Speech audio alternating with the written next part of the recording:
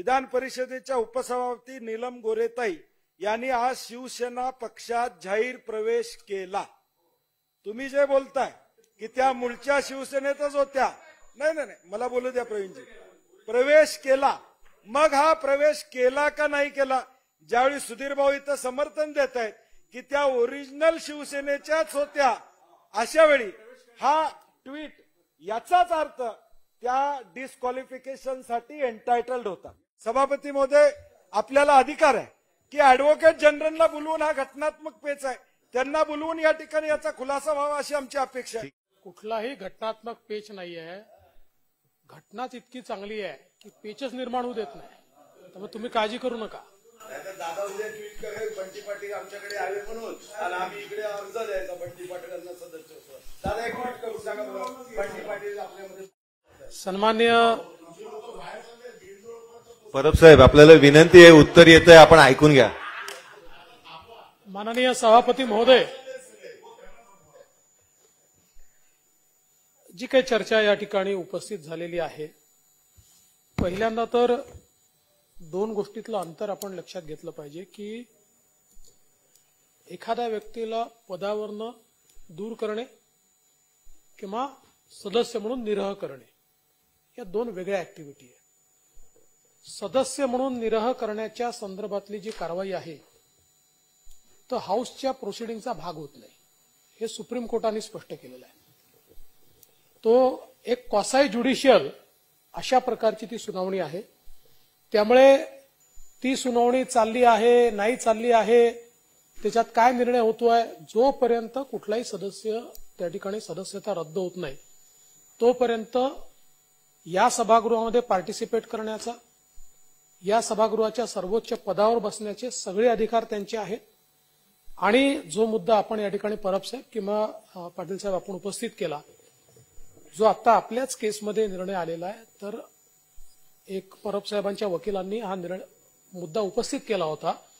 किंवा या लोकांना जर सुप्रीम कोर्टाने डिस्क्वालिफाय केलं नाही आणि उद्या अध्यक्षांनी डिस्क्वालिफाय केलं तर यांनी सभागृहात पार्टिसिपेट केलेलं आहे. त्यामुळे त्यांनी पार्टिसिपेट केलेल्या कायद्यांचं काय होईल तर सुप्रीम कोर्टाने स्पष्टपणे म्हटलेलं आहे की त्यांना पार्टिसिपेट करण्याचा अधिकार आहे कायदे करण्याचा अधिकार आहे आणि त्याचा कुठलाही परिणाम हा झालेल्या कायद्यांवर होत नाही.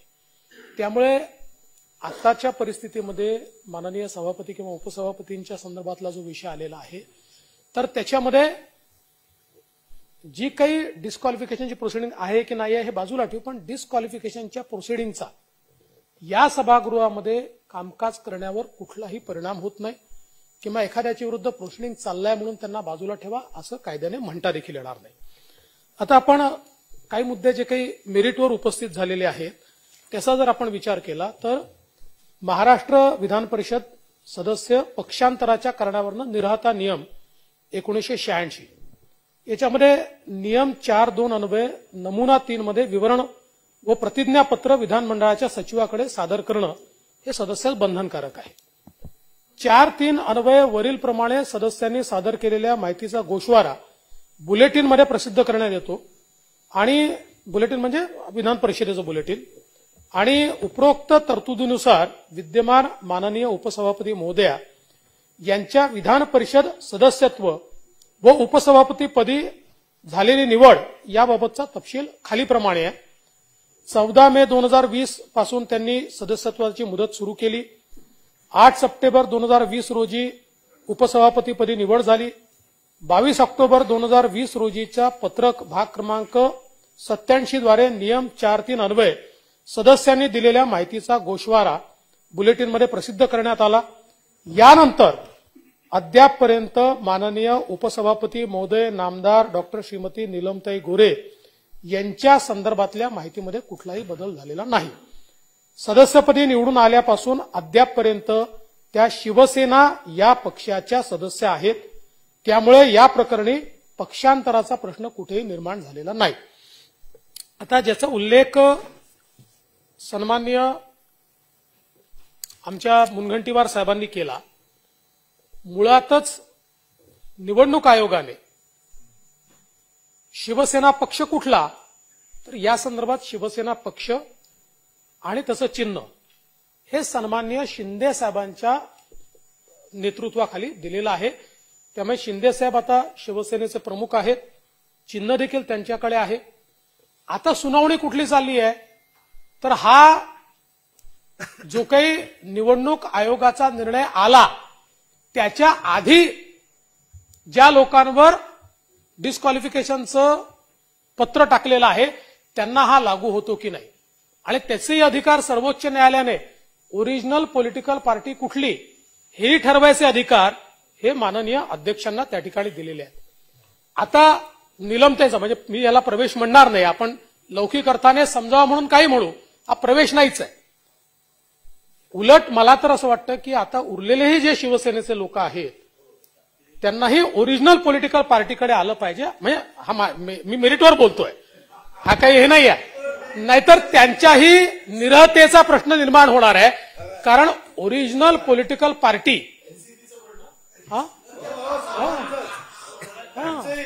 सेम सेम सेम लाईन त्यामुळे ओरिजिनल ओरिजिनल पॉलिटिकल पार्टी त्यामुळे मला असं वाटतं की नीलमताई या कायदा मांडणाऱ्यांपैकी आहेत कायदा समजणाऱ्यांपैकी आहे. आणि त्यामुळे ही गोष्ट त्यांनी लक्षात घेतली की आपण ज्या शिवसेना पक्षातनं निवडून आलो आणि ज्या शिवसेना पक्षाचा फॉर्म आपण भरला ज्याच्यात बुलेटिन प्रसिद्ध झालं त्या शिवसेना पक्षाला आता इलेक्शन कमिशननी माननीय एकनाथराव शिंदे यांची शिवसेना म्हणून त्यालाच म्हणजे त्यालाच ओरिजिनल पक्ष म्हणून परवानगी दिली आहे त्यामुळे हा निरहतेचा प्रश्न हा या ठिकाणी निर्माण होत नाही. तथापि काही गोष्टी अजून मला लक्षात आणून द्यायच्या जसं जयंत पाटील साहेब म्हणाले की सभापती महोदया व त्यांच्या कामकाजावर जेव्हा आपण काल बोलत होता की ज्यावेळी माननीय सभापती हे सभापतींच्या सर्वोच्च स्थानी आसनस्थ होतात त्यावेळी त्यांचा कोणताही पक्ष नसतो किंवा काहीही न करता अशा वेळी आपोआप त्यांच्या पक्षाचे सदस्यत्व जाते. या संदर्भात हे आपण म्हणतात ते मॉरली आपण असं मानतो पण लिगली असं नाहीये. नाही नाही मी सांगतो.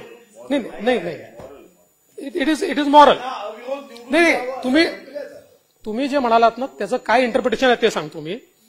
की अशा प्रकारे पक्षाचे सदस्यत्व जाण्याची कोणतीही तरतूद कोणत्याही अधिनियम किंवा नियमात आढळत नाही. या संदर्भात माननीय पीठासीन अधिकाऱ्यांच्या परिषदेमध्ये अनेक वेळा चर्चा झाली. मात्र कोणतेही नियम अथवा कायदा करण्यात आलेला नाही. उलट पक्षी संविधानाच्या आता हे महत्वाचं आहे संविधानाच्या दहाव्या अनुसूचीमध्ये सभापती उपसभापती यांनी राजकीय पक्षाचा राजीनामा देणे अथवा नंतर पुन्हा त्या पक्षाचे सदस्यत्व स्वीकारणे या सूट देण्यात आली असून कोणत्याही प्रकारे राजकीय पक्षाच्या राजीनाम्याचे बंधन घातलेले नाही.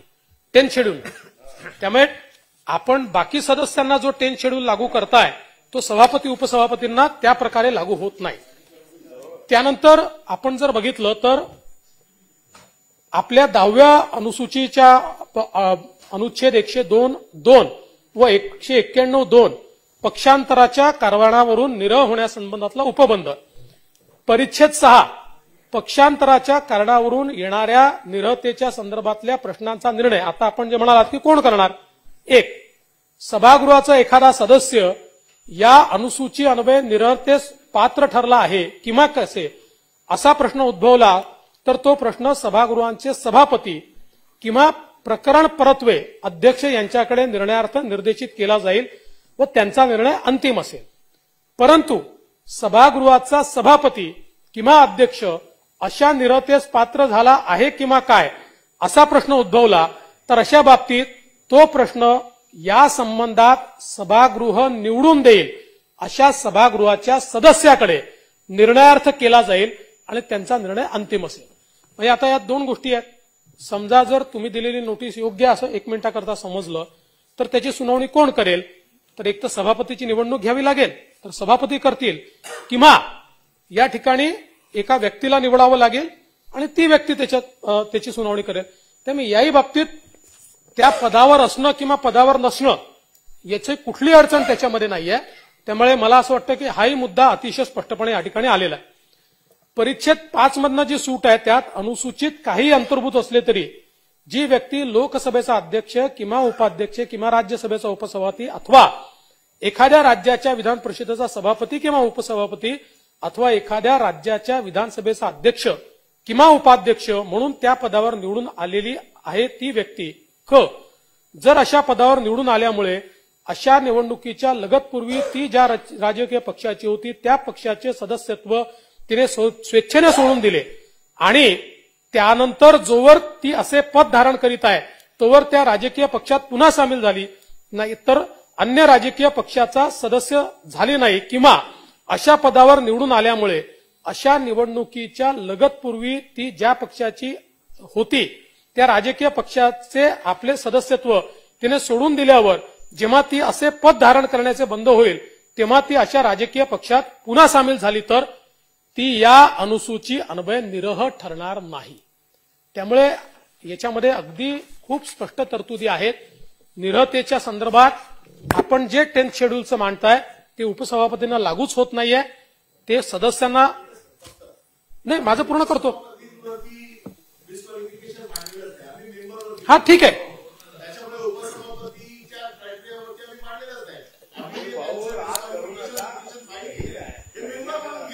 असं आहे की तेच आपल्याला मी सांगण्याचा प्रयत्न करतोय. मेंबर आहेत म्हणून त्या उपसभापती आहेत. उपसभापतीला डिस्क्वालिफिकेशन कायद्यात नाही संविधानात नाही त्यामुळे उपसभापती विरुद्ध मांडताच येत नाही. उपसभापती मेंबर असताना त्यांच्या विरुद्ध डिस्क्वालिफिकेशन मांडत असताना टेन शेड्यूल इंटरप्रिट झालंय. हे ten schedule as a member जेव्हा त्या उपसभापती आहेत त्यामुळे ऍज ए मेंबर तुम्ही डिस्क्वालिफिकेशन आणता त्याचं हे इंटरप्रिटेशन आहे.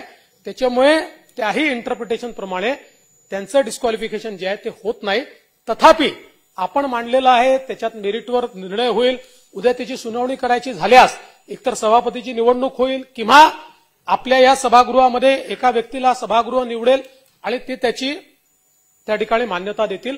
त्यामुळे आता त्यांच्या विरुद्ध आपण पिटिशन केल्यामुळे त्या सभागृह चालवू शकत नाही. हा मुद्दा निकाली निघालेला आहे. त्यांना पूर्ण अधिकार आहे. आता आपण समजा त्याच्यावर अविश्वास प्रस्ताव मांडला असेल तर चौदा दिवस त्याला नोटीस आहे. त्याच्यानंतर सात दिवसाची त्याला अजून कालावधी आहे. त्यामुळे त्या संदर्भात जे काही नियम आहेत नियमानुसार मेरिटनुसार ती कारवाई होईल. आणि म्हणून माझी अध्यक्षांना सभापतींना विनंती आहे की आता आपण दोन्हीकडचं म्हणणं ऐकून घेतलं आपल्याला जो काही अप्रोप्रिएट या संदर्भात निर्णय द्यायचा असेल ज्यावेळी द्यायचा असेल तो तो निर्णय आपण योग्य वेळी द्यावा. या संदर्भातली आपण एक घटना समिती स्थापन करून याच्या संदर्भातलं पुढे निर्णय घ्यावा आणि चर्चा व्यवस्थित झालेली आहे. चर्चा झाली आहे पण आपल्याला जर काही रुलिंगही द्यायचं असेल तर आपण वाटल्यास वेळ घ्यावा आणि नंतर रुलिंग द्यावं या संदर्भात.